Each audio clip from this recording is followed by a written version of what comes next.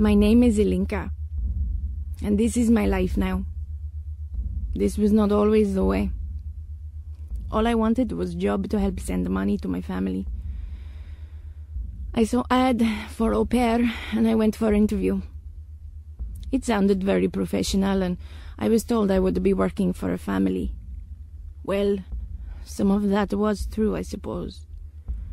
When I arrived, they took me to apartment in the city.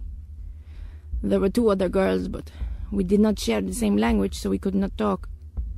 But they looked bruised, and I could see that they were beaten.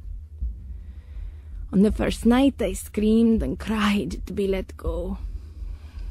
But they didn't let me go. Instead, they raped me over and over and over. I bled for ten days.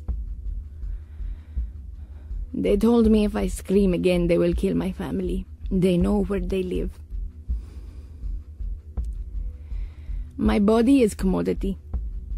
I am available to be bought and sold every second, every minute, every hour of every day. My body is product for the men who buy me. They do whatever they like and however they like. If they hurt me, they just enjoy it more. Some even videotape on the phone the sex. They say they wanted the value for the money. I don't tell my real name. My real name is all I have, all that is protected, all that is mine. I take tranquilizer to numb my mind. But it does not numb the pain. It does not numb the memory. I remember every single man's face as they lay on top of me, dripping sweat all over me and abusing my body. I used to be free.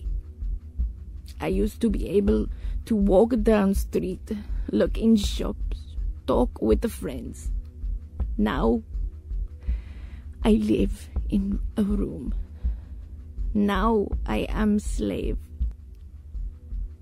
This is my life now. I am commodity. But this was not always the way. Human trafficking is a crime. If you suspect an individual is trafficked, report it to the authorities immediately. Help save lives.